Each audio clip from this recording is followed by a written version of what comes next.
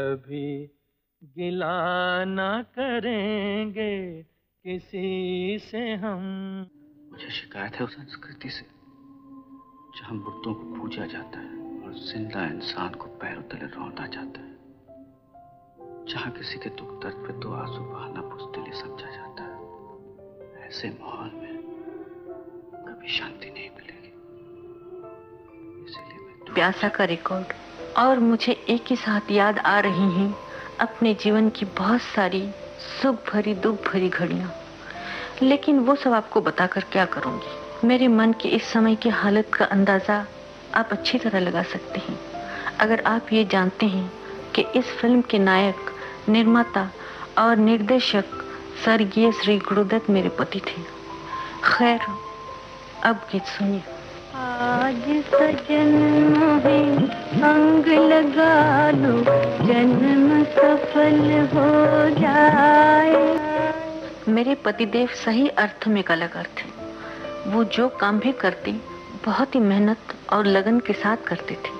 और फ़िल्मों के माध्यम से भी वही कुछ कहने की कोशिश करते थे जो कुछ वो सच्चे दिल से महसूस करते थे। ये महलों ये तख्तों ये ताजों की दुनिया अगर मिल जाए तो क्या है? इस कार्यक्रम का अंतिम गीत भी मैंने अपने पतिदेव की फ़िल्म साहेब बीबी और गुलाम से चुना है। गीत लिखा था शकील बदायूनी ने और संगीतकार थे हेमंत कुमार। कभी कभी मुझे लगता है कि ये गीत फ़िल्म के पात्र से भी ज़्यादा। मेरे अपने भावों का बयान है।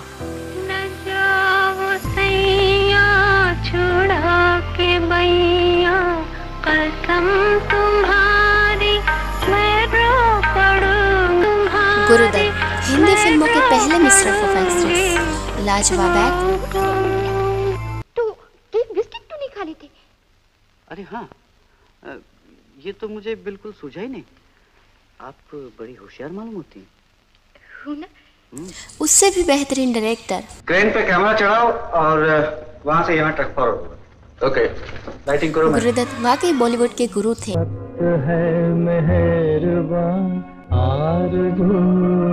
गुरुदत्त अपने जमाने से काफ़ी आगे की सोचते थे। और अपने फ़िल्म में नए नए प्रयोग करते थे। अपनी फ़िल्म प्यासा के नाम की तरह, अपनी हर फ़िल्म में कुछ नया करने की उनके प्यार को देखकर ही लोग उन्हें कहने लगे थे एक था प्यासा। कहते हैं हिंदी फ़िल्मों का गोल्डन ईरा यानी सुनहरा दौर। गुरुदत्त की फ़िल्मों के साथ शुरू हुआ। 1950 और 1960 के दशक में गुरुदत्त की फ़िल्मों ने हिंदी फ़िल्म इंडस्ट्री की तस्वीर ही बदल कर रख दी। चौदहवीं का चाँद। चौदवी का चाँद हो या कागज़ के फूल और साहिब बीबी और गुलाम में हिंदी फ़िल्मों की परिभाषा ही बदल दी। बड़ा ही सुंदर नाम है भूतनाथ। जी।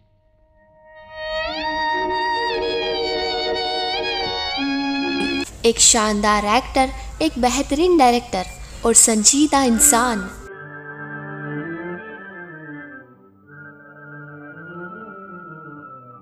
इसी का नाम है गुरुदत्त। गुरुदत्त की फ़िल्म प्यासा और कागज़ के फूल को टाइम मैगजीन ने दुनिया भर की 100 बेस्ट फ़िल्मों की लिस्ट में शामिल किया है। मदद चाहती है यह हवा की बेटी पयम्बर की उम्मत की बेटी। साल 2010 में सीएनएन ने गुरुदत्त को एशिया के 25 टॉप एक्टर्स में से एक माना लेकिन आपको जानकर ताजुब होगा कि जिस गुरुदत्त के अभिनय और निर्देशन का दुनिया लोहा मानती है, उन्होंने अपना फिल्मी सफ़र एक कोरियोग्राफर के तौर पर शुरू किया। सन 1945 में फ़िल्म हम एक है के ज़रिए गुरुदत्त ने हिंदी फ़िल्मों में अपना पहला कदम रखा। इसके बाद गुरुदत्त की पहचान तब हुई जब उन्होंने उन्नीस सौ इक्यावन में सिर्फ़ 26 साल की उम्र में नवकेतन प्रोडक्शंस की फ़िल्म बाजी का डायरेक्शन किया। इसके बाद फ़िल्म आर पार और मिस्टर एंड मिसेस 55 के टपोरी नायक के तौर पर गुरुदत्त की एक्टिंग को खूब सराहा गया। लेकिन 19 फरवरी उन्नीस सौ सत्तावन को रिलीज़ हुई फ़िल्म प्यासा ने वाकई गुरुदत्त को फिल्मी दुनिया का गुरु बना दिया। उस वक्त ये यकीन कर पाना मुश्किल था कि मिस्टर एंड मिसिस का टपोरी फ़िल्म प्यासा के विजय का किरदार अदा कर सकता है। भारत के अलावा फ्रांस में भी फ़िल्म प्यासा बेहद हिट रही। कहा जाता है कि फ़िल्म के गाने जिन्हें ना सहे हिंद पर सुनकर तत्कालीन प्रधानमंत्री पंडित जवाहरलाल नेहरू बहुत रोए थे, लेकिन प्यासा के विजय का किरदार उस इंसान के लिए मुश्किल नहीं था। जो खुद बचपन में काफ़ी उदास और गुमशुम रहता था। 9 जुलाई 1925 को बेंगलोर में जन्मे गुरुदत्त का बचपन काफ़ी मुश्किलों भरा था। गुरुदत्त को पैसे की कमी से मैट्रिक के बाद पढ़ाई छोड़नी पड़ी। बचपन में अपने छोटे भाई की मौत से गुरुदत्त के लिए ज़िंदगी के शुरुआती अनुभव काफ़ी कड़वे रहे। शुरुआत में गुरुदत्त का नाम बसंत कुमार था। लेकिन बचपन में ही एक एक्सीडेंट के बाद घर वालों ने उनका नाम बदलकर गुरुदत्त रख दिया और शायद इसी बदले हुए नाम ने उनकी ज़िंदगी भी बदल दी। बचपन में लाइट जाने पर दिए की रोशनी के सामने उंगली की परछाइयों से दीवारों पर आकृति बनाने वाला नन्हा गुरुदत्त अपनी फ़िल्मों में लाइटिंग के नए नए प्रयोग करने के लिए मशहूर हुआ। फ़िल्म कागज़ के फूल का गाना वक्त ने किया क्या हसीन सितम की लाइटिंग ने उस जमाने में सबको चौंका दिया था। फ़िल्म कागज़ के फूल हिंदुस्तान की पहली सिनेमास्कोप फ़िल्म थी। प्यासा के दो साल बाद बनी ये फ़िल्म बहुत हद तक गुरुदत्त की असल ज़िंदगी की कहानी थी। गुरुदत्त अक्सर कहा करते थे कि ज़िंदगी में दो ही चीज़ें हैं कामयाबी और नाकामी। इन दोनों के बीच में कहीं भी कुछ भी नहीं। ये बात उन्होंने चौधरी के चाँद की कामयाबी और कागज़ के फूल की नाकामी की बात कही। कागज़ के फूल दर्शकों को पसंद नहीं आई। और बॉक्स ऑफ़िस पर बुरी तरह फ्लॉप रही। इस फ़िल्म के बाद गुरुदत्त कभी उस डायरेक्टर की कुर्सी पर नहीं बैठे। इस पर बैठे बैठे फ़िल्म के हीरो सूरज सिन्हा की मौत हुई थी। साल 2011 में प्यासा को टाइम मैगजीन ने 10 बेस्ट रोमांटिक फ़िल्मों में शामिल किया। पर्दे पर वहीदा रहमान और मीना कुमारी के साथ गुरुदत्त की रोमांटिक जोड़ी बहुत हिट थी। लेकिन असल ज़िंदगी में गुरुदत्त का रोमांस शुरू हुआ फिल्मबाजी से। बाजी फ़िल्म के इसी गाने के रिकॉर्डिंग के दौरान दत्त साहब की मुलाकात अभिनेत्री और गायिका गीता रॉय से हुई। गीता उस जमाने में दिलकश आवाज़ की मलिका थी। रिकॉर्डिंग के सेट पर दोनों की चंद मुलाकातों के बाद तकदीर ने तकदीर की इबादत लिख दी। गुरुदत्त गीता के मखमली आवाज़ के मुरीद हो गए। बतौर गायिका गुरुदत्त ने गीता रॉय को अपनी फ़िल्म बाज में भी ब्रेक दिया। गीता रॉय की खनकदार आवाज़ पर गुरुदत्त दिल दे बैठे। दो साल बाद उन्नीस सौ तिरपन में गुरुदत्त ने गीता रॉय से शादी कर ली। शादी के बाद गुरुदत्त और गीता रॉय का शुरुआती सफ़र काफ़ी उथल पुथल भरा रहा। लव मैरिज होने की वजह से इन दोनों के परिवार शादी के खिलाफ थे, लेकिन गीतों की ही तरह गीता दत्त ने इन परिवार को भी खूबसूरती से संवारा। गुरुदत्त ने अपने फ़िल्मों में गीता की आवाज़ का इस्तेमाल किया, लेकिन शादी के बाद गीता पर दूसरे बैनर तले गाने पर पाबंदी लगा दी। हालात ये थे कि चोरी छुपे गीता अपने गानों की रिकॉर्डिंग के लिए जाती, दौड़ते भागते शाम से पहले घर पहुँच जाती, ताकि गुरुदत्त को पता ना चल सके। गुरुदत्त को अकेलापन पसंद था। वो अपनी फ़िल्मों को बनाने में इतने डूब जाते थे कि उन्हें अपने परिवार को वक्त देने में भी दिक्कत होती।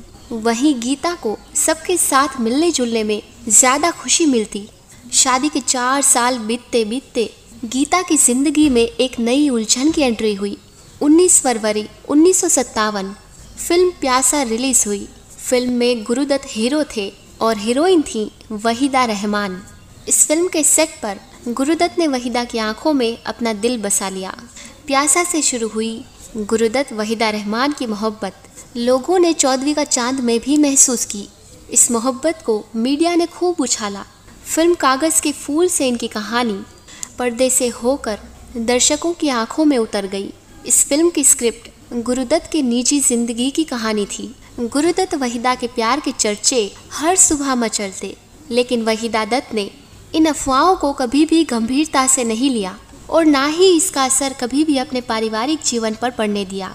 वो कहती, कि मैं जितना प्यार गुरुदत्त से करती हूँ, गुरुदत्त भी मुझसे इतना ही प्यार करते हैं। गुरुदत्त उस वक्त किसी सुपरस्टार से कम नहीं थे। गीता उनकी ज़िंदगी में तकदीर से बिगड़ी हुई तकदीर बना ले गाते हुए आई। लेकिन गुरुदत्त की तकदीर ने उसी वक्त एक बड़ा मोड़ ले लिया। पत्नी गीता दत्त से उनके लंबे वक्त तक टिक ना सकी। चार साल बाद दोनों अलग अलग रहने लगे। गीता से जुदाई के बाद गुरुदत्त टूट गए। उन्होंने अपने आप को शराब के नशे में डुबो दिया। गीता दत्त की मासूम मोहब्बत गुरुदत्त वहीदा के आड़े आ रही थी। गुरुदत्त बेहद तनाव में रहने लगे। अंदर ही अंदर न जाने क्या चीज़ थी, जो उन्हें चैन से बैठने नहीं दे रही थी। शायद वो सही फैसला नहीं कर पा रहे थे, क्योंकि एक और वहीदा की मोहब्बत थी, गीता से बेवफाई। फ़िल्म स्टार देवानंद गुरुदत्त के सबसे अच्छे दोस्त थे। उन दोनों की दोस्ती उस जमाने में हुई, जब वो दोनों ही हिंदी फ़िल्मों में अपने कदम जमाने के लिए संघर्ष कर रहे थे। उनकी दोस्ती के कई किस्से मशहूर हुए। लेकिन उनकी दोस्ती में सबसे खास बात ये थी कि दोनों ने एक दूसरे को अपना फिल्मी करियर बनाने में भरपूर मदद की। पूरी फिल्मी दुनिया में अगर गुरुदत्त का सबसे करीबी दोस्त था तो वो थे देवानंद। गुरुदत्त और देव साहब में दोस्ती कैसे हुई, इसका वाक्य भी बहुत दिलचस्प है। दोनों 1945 में फ़िल्म हम एक हैं की शूटिंग के दौरान मिले। दोनों की ये पहली फ़िल्म थी। गुरुदत्त इस फ़िल्म में कोरियोग्राफी कर रहे थे। तो देवानंद अपने एक्टिंग करियर की शुरुआत कर रहे थे। इस फ़िल्म की शूटिंग के दौरान देवानंद और गुरुदत्त दोनों एक ही धोबी को अपने कपड़े दिया करते थे। एक दिन देवानंद ने देखा कि उनकी एक कमीज़ कम है। उन्हें पता चला कि उनकी कमीज़ गुरुदत्त के पास है तो वो उनके पास गए। देवानंद ने गुरुदत्त से कहा कि जो कमीज़ तूने पहन रखी है, वो उनकी नहीं है।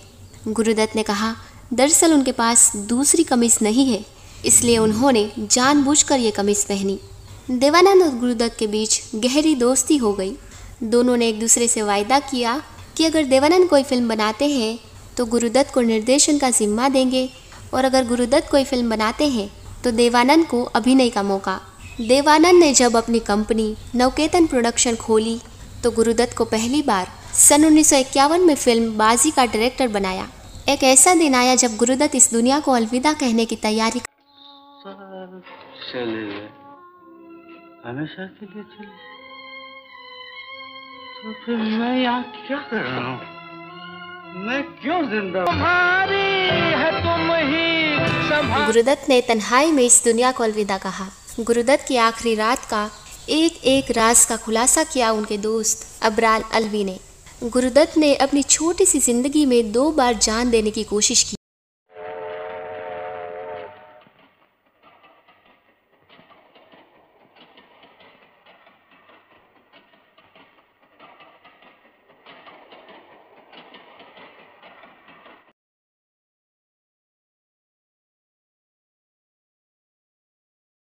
लेकिन 9 अक्टूबर 1964 की रात होनी को कुछ और ही मंजूर था। गुरुदत्त ने कई लोगों को फ़ोन किया, अपने पास आने को कहा, लेकिन कोई नहीं आया। वक्त शाम सात बजे। 9 अक्टूबर गुरुदत्त के दोस्त और स्क्रिप्ट राइटर अबरार अलवी काफ़ी वक्त उनके साथ थे। वो सात बजे उनके घर पहुँचे। गुरुदत्त बेचैन, लेकिन खामोश थे। मुंबई के पैडर रोड में आई रोड फ्लैट में गुरुदत्त के साथ उनका सहायक रतन भी मौजूद था। रतन के मुताबिक गुरुदत्त शाम साढ़े पाँच बजे से पी रहे थे। वक्त रात के दस बजे। गुरुदत्त ने पत्नी गीता दत्त को फ़ोन किया और कहा कि बेटी से मिलना चाहते हैं। शादी टूटने की कगार पर थी। गीता से लोग छोक बढ़ गई। गुरुदत्त का मूड बिगड़ गया और तब उन्होंने कहा कि बच्ची को भेज दो या फिर तुम मेरा मरा मुँह देखो। वक्त रात के बारह बजे। रात करीब बारह बजे गुरुदत्त खाने के लिए तैयार हुए। लेकिन खाते खाते एक बज गया। खाने से पहले फिर से शराब पी। तब अबरार अरबी ने गुरुदत्त को आखिरी बार देखा। गुरुदत्त ने अबरार अलवी को कहा कि वो सोना चाहते हैं और फिर वो अपने रूम में चले गए। वक्त रात के तीन बजे। गुरुदत्त के सहायक रतन के मुताबिक गुरुदत्त कमरे से बाहर आए और विस्की मांगने लगे। रतन ने जब मना किया तो खुद बोतल ढूँढने लगे और उसे लेकर अपने कमरे में चले गए। दरवाज़ा बंद कर लिया। 10 अक्टूबर उन्नीस सुबह 10 बजे। इसके बाद क्या हुआ कोई नहीं जानता। अगली सुबह गीता दत्त ने काफ़ी फ़ोन किए, लेकिन गुरुदत्त नहीं उठे। दरवाज़ा तोड़ा गया।